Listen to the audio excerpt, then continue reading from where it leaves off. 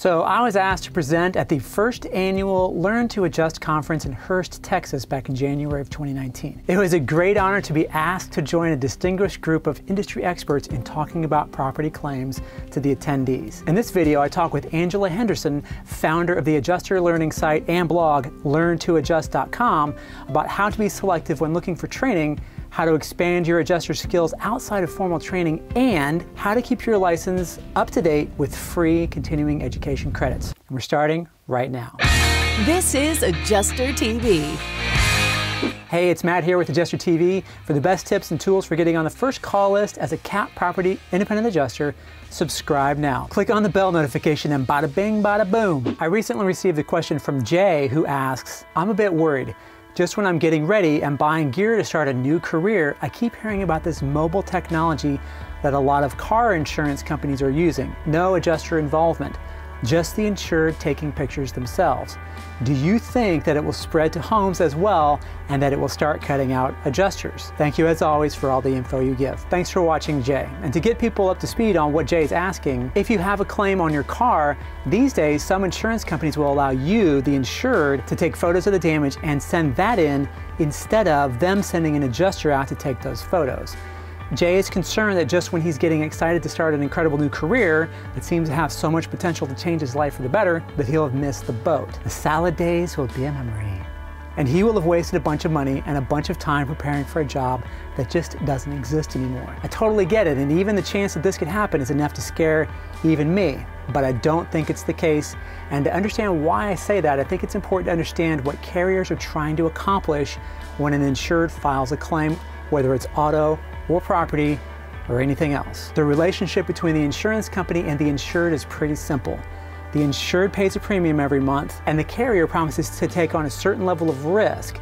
Risk that if the insured took it on themselves would represent financial hardship or ruin if it happened to the insured. So, for example, fire. If it would cost $250,000 to rebuild your home if it burned down and you didn't have insurance, would you be able to pay for that on your own? Probably not for most people. So you basically pay what amounts to a subscription to a company who says, in exchange for the subscription fee, we will pay to replace your home if it burns down, right? Everything else associated with claims handling is just a tool to facilitate that relationship between the carrier and their customer, the insured. It's a relationship based on a promise and nothing more but promises require trust, right? So what are the tools that carriers use to carry out this promise? They can use in-house claims team, and if the in-house claims team can't handle a volume of claims or claims that are remote, then they'll hire independent contractors to help them out, which is us, the independent adjuster. That's our world in a nutshell. So let's talk a little bit about what carriers are ultimately trying to do with things like photo assisted claims using an unlicensed subcontractor, claims where the insured submits photos with no field adjuster, or even a direct repair contractor that takes the place of a field adjuster. The carriers will always have a desk adjuster working a claim. There's always an adjuster somewhere in there. In non-CAT situations, it's up to that desk adjuster to decide how he or she wants to handle it. The options that they currently have available are the insured sends in a photo of the damage or like on a FaceTime, and the adjuster writes the estimate based on those photos and the insured's measurements, understanding that when a contractor shows up, things might change. Number two, they can call one of their restoration contractor partners who's agreed to abide by the carrier's estimating guidelines, and they will act as the field adjuster. Number three, they can go out on the claim themselves and handle the claim on site. As a rule, this option will have the best customer service outcome. And number four, if none of the above options are appropriate or feasible, they can send the claim out to an independent adjuster who will scope and write up the claim and send it back in for further processing by the desk adjuster. And that's mainly for daily. On CAT, it's a little bit different. Regular staff adjusters generally won't be making those decisions. If a storm or other large scale event occurs, all claims from that event will be routed to the catastrophe claims department and they'll decide based on the number of policies that may have been affected how many adjusters to send. Many carriers have their own CAT teams and don't hire IAs, but many more will supplement their staff CAT teams with independent adjusters. And just as a reminder, the absolute best customer experience is to have a trained, licensed adjuster on site, making the coverage decision and settling with the insured. Everybody agrees on that from the carrier on down. But here's where the controversy comes in. There are other factors that make this a little bit more of a complicated decision for the carrier. So you have the added cost of bringing in IAs, not as big of a deal as you might think, but a consideration nonetheless. Also, they have to consider the, the, laws of the state. A big part of fair claims requires that claims be handled in a timely manner. Fines and other penalties can occur otherwise, as well as how well the customer was treated initially. If you are well trained, licensed, and can close a lot of claims in a short period of time without losing file quality and while maintaining a wonderful experience for the customer, even on CAT, or especially on CAT, you will never have to worry about making a great living at this job.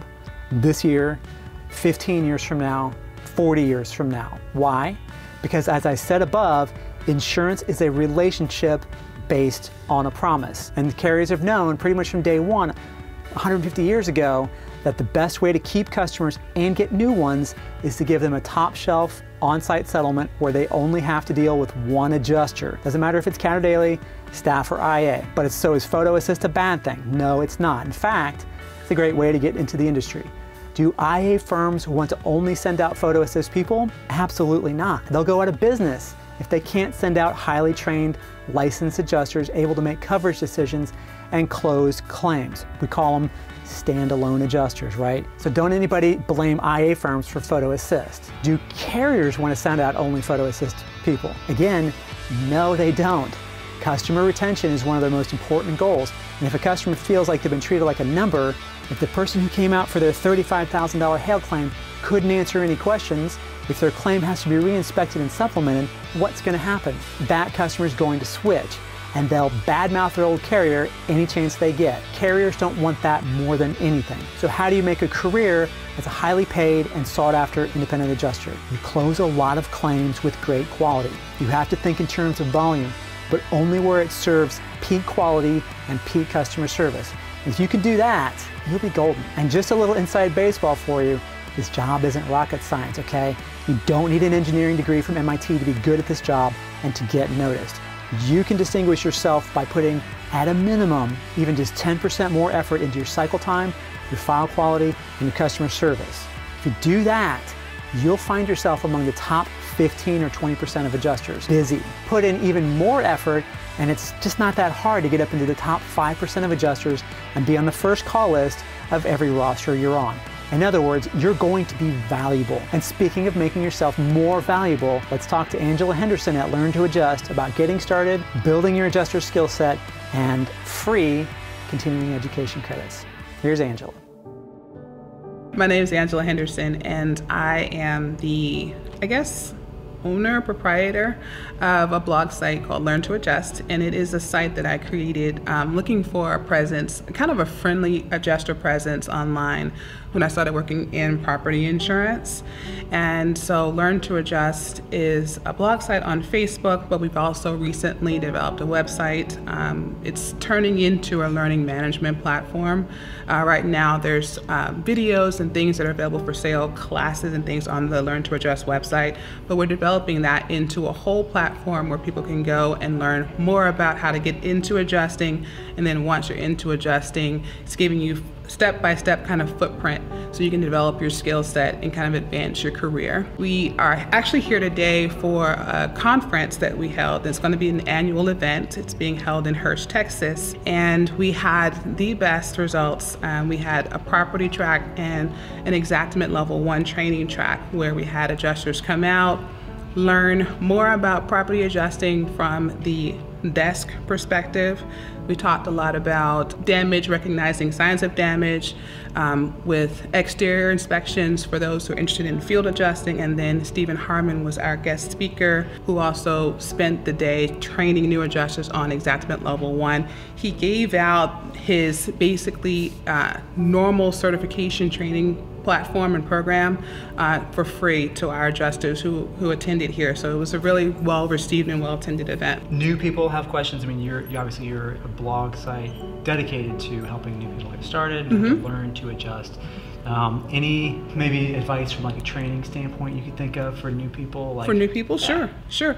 So for new people looking to get into the industry, um, first just be careful about how you get your initial training coming into the industry.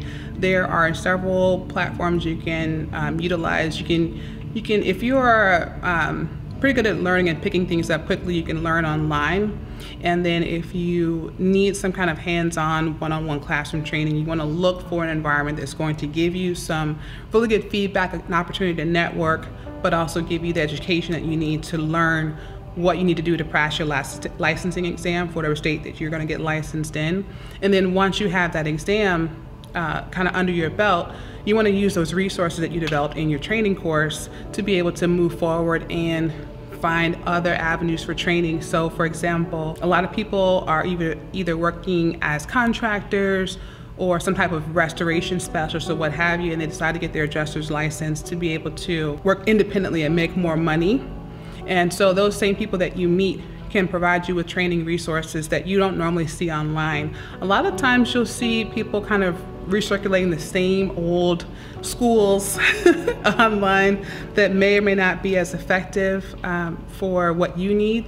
And I found that the best training resources are the ones that you kind of find for yourself. So, um, like I said, Learn to Adjust is going to have a learning management platform available for users very soon. But until that happens, there's all kinds of resources. Um, as an example, if you're looking for uh, training and continuing education. Most adjusters don't know this, but you could go to um, like a ServPro, Service Master, and they actually will offer CE courses for free. They love having adjusters come in.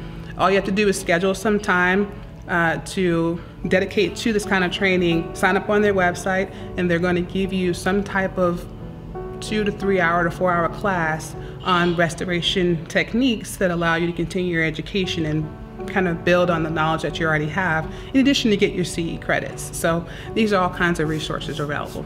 I didn't know that. okay. That's awesome. Angela Henderson, I'm a principal with Learn to Adjust, which is a blog site and web-based learning platform.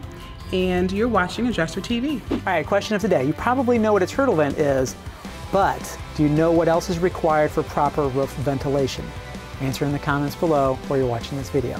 And for much more information about getting started as an independent adjuster, check out adjustertv.com. And if you got value from this video, you can help me create more videos just like this by pressing this round subscribe button. And there's plenty more where this came from.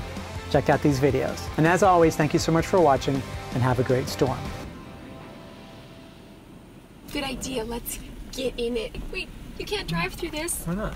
Because you're going to get splashed.